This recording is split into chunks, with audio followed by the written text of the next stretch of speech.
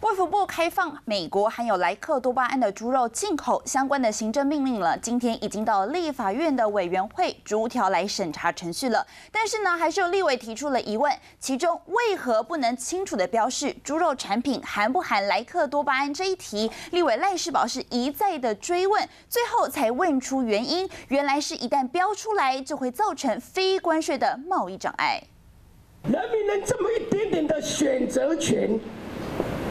都没有，有个恶心的。立委赖世宝情绪激动，再次追问为何产品不能标示含有莱克多巴胺。卫福部和经济部答案却不同。在美牛的时候开放的时候，也没有去标莱克多巴胺呐。如果标的话，会有贸易障碍。报委人士，啊是嘛哈，来。原来是一旦写明美猪产品有瘦肉精，会变成非关税贸易障碍。但这时陈时中似乎有点不悦。不过我们也不需要再在公开来讲，要来卸我们自己在谈判的一个筹码。而十三万家肉品相关业者，就算增补，也只有六百多人，怎么稽查标示？谁负责？卫福部和农委会互推，怎么去确认它是百分之百台湾猪？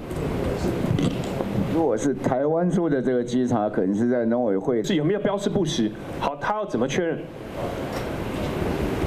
这个部分应该是卫福部说是农委会啊，农委会说是卫福部，然后你要问经济部吗？开放进口莱克多巴胺美猪的行政命令已经到了逐条审查的程序，但最重要的三个部会似乎还有意见需要整合。